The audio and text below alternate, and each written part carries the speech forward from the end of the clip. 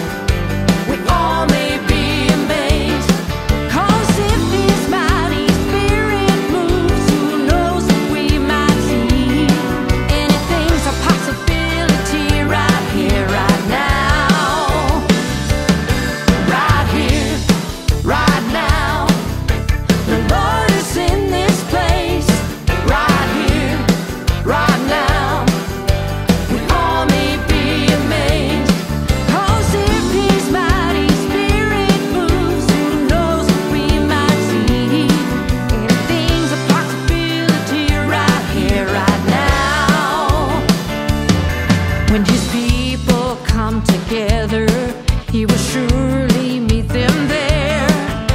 And his great